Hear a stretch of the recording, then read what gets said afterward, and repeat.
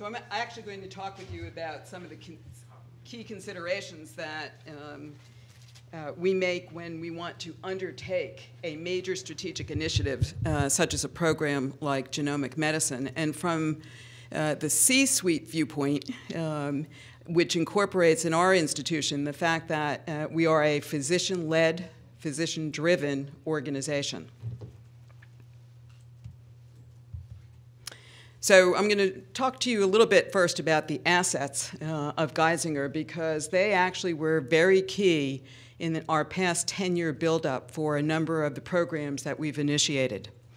Um, you can see here that the mission is driven all around patients uh, and how we deliver care to our patients, and more importantly, the outcomes that we achieve for improving their lives, uh, their clinical outcomes, and then overall, uh, the value uh, that we uh, actually achieve, not only for the patients, uh, but for the community, our providers, our health plan, uh, and the employers of our region.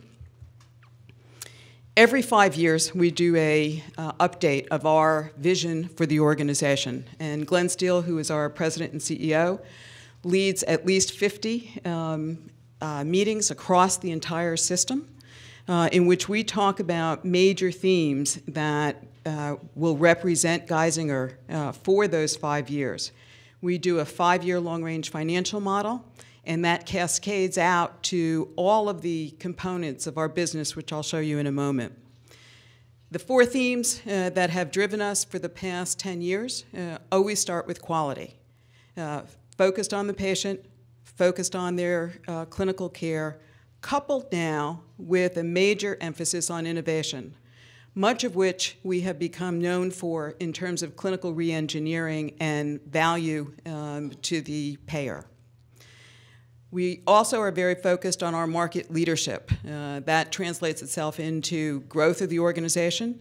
Uh, we've gone from 10 years ago being uh, an organization of about 700 million uh, top revenue to now 3.4 billion dollars, uh, and an employee base of about uh, 1,000 employed physicians and around 15,000 employees across the system. We now are going to initiate a very uh, large program in the scaling and generalizing of many of our uh, initiatives around innovation, uh, focused on uh, re-engineering the way in which care is delivered. And then our fourth major theme is around the Geisinger family. Uh, improving the professional and personal well-being uh, of our employees, as well as ensuring that we have the right skill sets of our employees to meet the future uh, direction of healthcare. Uh, as I mentioned, uh, Geisinger is about a $3.4 billion uh, organization. We have a number of provider facilities. Uh, currently, we have two major clinical uh, campuses. the Geisinger Med Medical Center, which is located in Danville, incorporates the Hospital for Advanced Medicine, the Janet Weis Children's Hospital, uh, a level one trauma uh, program for both pediatrics and adult, uh, and then a series of ambulatory uh, surgery clinics. Uh, our research enterprise uh, is actually part of the clinical enterprise, and I'll talk about that in a moment. Our Geisinger Northeast has two campuses. It's about a 50-minute drive from Danville. Uh, also has a uh, level two trauma program. It does now have a Janet Weis Children's Heart Hospital within a hospital. Uh, and a series of uh, clinics that surround it. We also have a alcohol and treatment, uh, chemical treatment dependency uh, institution. We have now roughly um, 900 FTE employed physicians and roughly translates to about 1,000 bodies. Uh, in our research area, uh, we have gone from about 80 FTEs, uh, that includes both um, uh, researchers as well as uh, support staff, to over 300 in the past 10 years. Uh, we include in our delivery of care advanced practitioners, and this will become important in a moment um, as we talk about the genomics medicine program. we also have a health plan. Uh, we have about 300,000 members uh, in our health plan, and this is a very important component uh, of our integrated delivery system. Roughly 30% of the business of Geisinger uh, comes from the health plan. And in that 30% is where we really do a lot of our innovative work between uh, the clinical enterprise and the health plan. Our system, uh, the dark blue, represents the counties in which the health plan uh, has uh, contracts, and the heavy white line represents uh, where we provide clinical care, roughly in 43 of the 67 counties of Pennsylvania. Uh, these uh, clinics that are coming up represent the 41 clinics, our primary care clinics and specialty clinics throughout the region who are actually providing care locally uh, in the areas that they serve. Again, because Geisinger uh, is located in a series of rural communities, uh, many patients will not travel long distances to get health care. So the strategy um, way back when was really to establish a series of primary care clinics. Additionally, uh, we work uh, quite closely with a number of non-Geisinger uh, physician sites and have actually uh, provided electronic health record uh, access uh, to these providers. We have now six helicopters for our level one trauma program and service the entire northeast and central Susquehanna regions. Our regional demographics were important in considering the development of a genomics program. We have about uh, just under 3 million uh, patients that we serve in the 31 county service area. It is an older, poorer population. It is fairly homogeneous. Most people have lived in their homes for over 30 years now. Uh, this makes it really an opportune uh, locale uh, to be able to do many different kinds of research. In 1995, um, Geisinger started the electronic health record development, uh, and initially they started it in the ambulatory uh, settings, the various clinics that were not associated with the main campus. Uh, invested over 135 million uh, since that time, and now on an annual basis, uh, we spend about 4.4% of our annual budget uh, in support of the electronic health record. Uh, the EHR is integrated not only in the community practice sites now, but also uh, each of the hospital platforms are fully integrated. And then we run uh, a series of retail clinics uh, in which the uh, information flow back and forth to clinical sites is through the EPIC um, electronic health record. Uh, we also believe pretty strongly that we need to communicate with our community-based physicians, and so um, we created a portal in which the physicians who are caring for patients that they refer to Geisinger um, can access their uh, patients' records. We have networked um, the uh, patient health record. We now have roughly uh, 178,000 active users uh, and are trying to achieve a goal of 200,000 um, in the near term uh, because this becomes an important facet for us uh, around um, not only monitoring uh, patients but also uh, in terms of potential research opportunities. The um, Regional Health Information Exchange, the KeyHIE, uh, Geisinger led this with about 18 institutions. Uh, now we have about uh, 500,000 active consented uh, users, and it will provide for us um, a community data warehouse, which will connect to our overall data warehouse. we have a number of e-health initiatives, again because we're rural, uh, we've become the node for EICU uh, programs where we monitor patients at other institutions through an EICU portal. We also have teleecho, telestroke, telederm, uh, and uh, many other neurology uh, and neurosurgery related programs by telemedicine. We were also uh, one of the recipients of a $16 million Beacon grant, which is meant to connect five additional communities and achieve uh, improvement in the health outcomes of that uh, group of patients living in that area, uh, primarily around pulmonary disease. And then more recently, uh, we initiated a program called uh, Geisinger MyCode, which is a voluntary patient um, program uh, seeking to biobank uh, a number of blood samples. Right now, our biobank contains both blood and tissue, uh, and you can see here um, the growth of that uh, biobank. Uh, it was part of, and I'll show you in a moment, uh, the development uh, coming from our scientific advisory board recommendations back in uh, roughly 2003 that Geisinger become a biobank as one of the steps in the development of our genomics program. We have a clinical decision intelligence or data warehouse system uh, that provides uh, near real-time data. It is system-wide, includes all the clinical, uh, research, uh, and business data. Uh, we use it um, quite often uh, to both answer questions as well as ask questions around cohorts of patients. Uh, we clean the data. Um, you can get quite granularized uh, information uh, we're about to expand um, the core team that governs uh, the data warehouse, and as we've recruited additional clinical research leaders, as well as those in our three centers, uh, we will be advancing um, both the depth and breadth uh, of the warehouse. So I'm not going to go through this entire complicated slide of how research was built at Geisinger um, early on, but if you look at the yellow area, um, Dr. Steele came to Geisinger in 2001. Uh, and clearly, uh, Geisinger has always been a great translational research uh, institution, but mostly focused on uh, clinical care in 2001. It had just come off the divorce uh, from Penn State Hershey.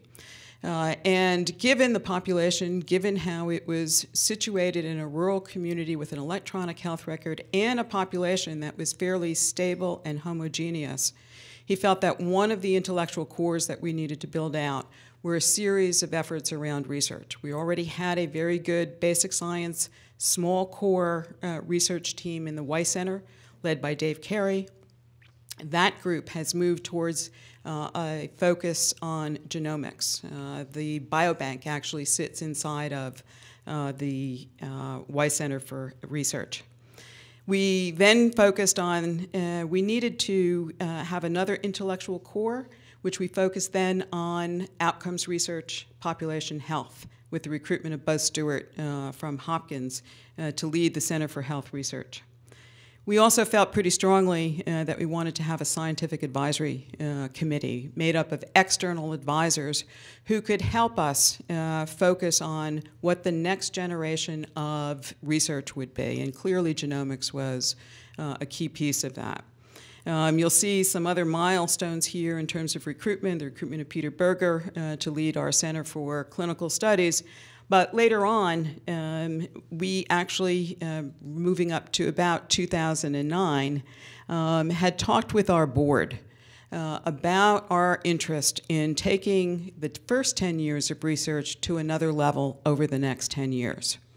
And at each of our medical affairs committees, which are uh, committees of the full board, uh, we talk about different aspects of research on a quarterly basis and give them an update on our progress we had been laying the groundwork uh, for doing a genomics medicine uh, program. So in 2009, uh, we put together a multidisciplinary uh, steering committee uh, led by uh, our chief medical officer at the time and a consultant, um, and that was David Ledbetter at the time. Uh, and we had three of our board members involved in the weekly meetings for this committee so that we could debate, um, we could analyze, we could push back um, the development of what would be a recommendation to the full board. The vision uh, for research at Geisinger uh, is all around personalized healthcare, uh, with a major emphasis on the genomics program.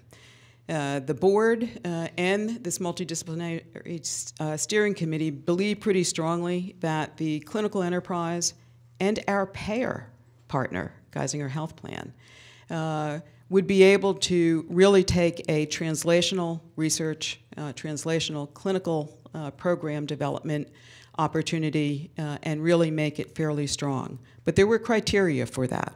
Um, certainly doing a well-articulated strategic plan and business plan with a return on investment uh, was key.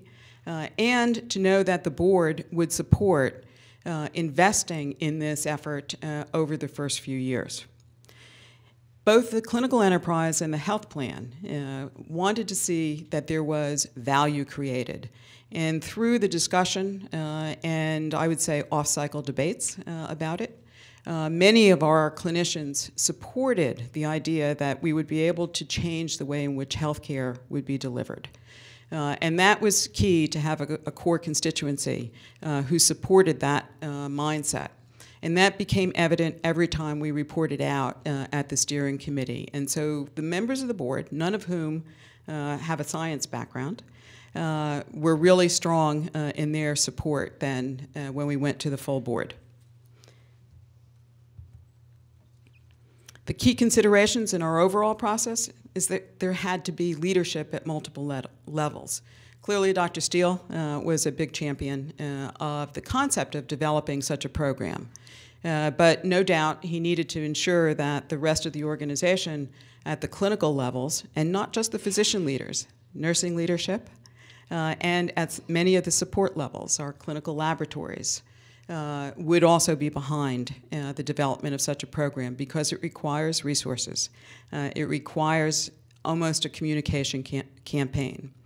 Uh, it required the articulation um, and almost a full communication campaign, uh, not only internal to Geisinger, but external to Geisinger. So we did talk to some of our community members about the development of such a program. We also had to formalize um, in writing uh, our strategic vision and a 10-year business plan.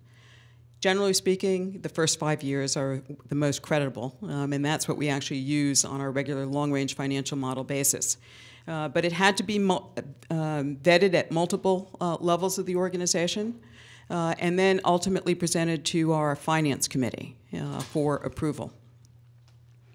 Important also um, were some delineation of metrics, uh, both for quality and value, as well as outcome and process.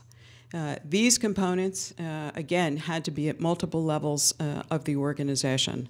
And our first um, major milestone would be to recruit um, the inaugural uh, executive vice president uh, for the organization of the scientific area.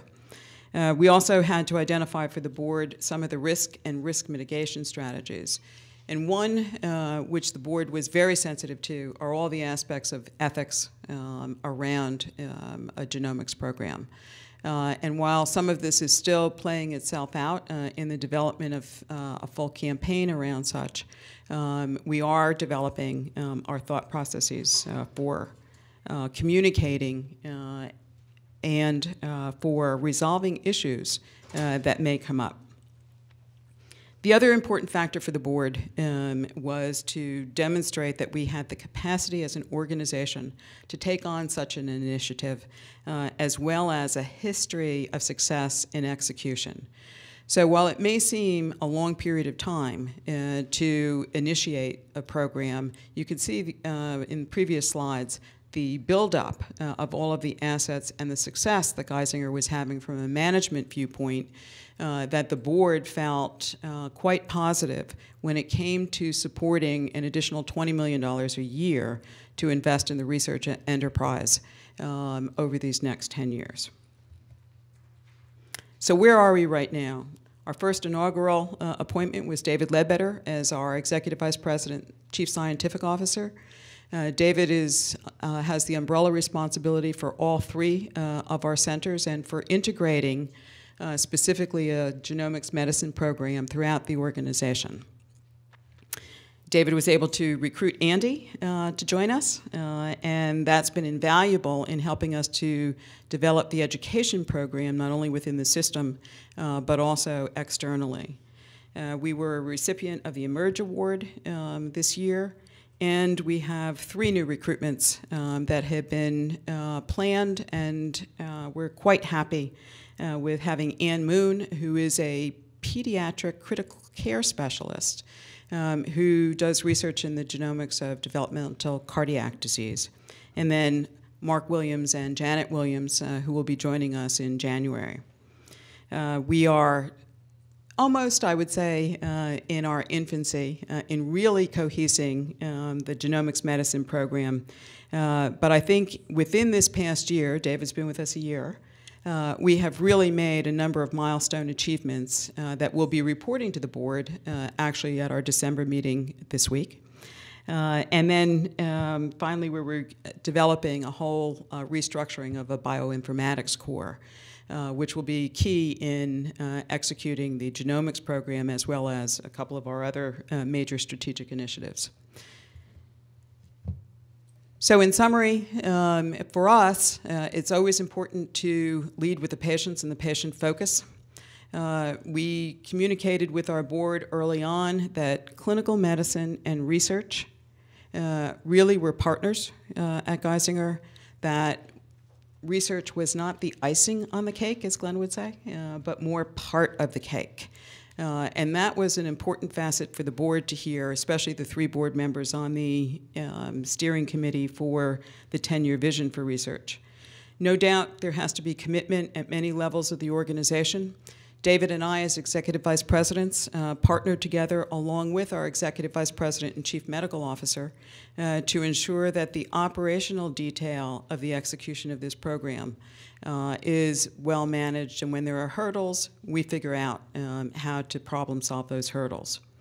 Uh, we also uh, feel pretty important uh, that there is a commitment on the part of the organization to demonstrate improved outcomes for patients over time, and to demonstrate for the board and other constituents uh, the financial uh, improvement uh, and value to the patients, the providers, the health plan, and employers uh, by improving the health outcomes uh, of the patients.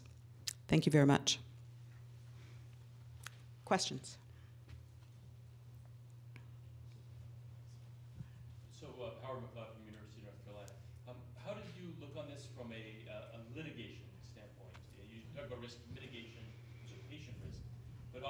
Brings an, an element of risk uh, as, an, as a uh, institution that you didn't have before.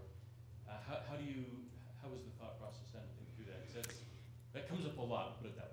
So, in our um, weekly strategic meetings of the executive vice presidents, um, our general counsel uh, is part of our weekly meetings.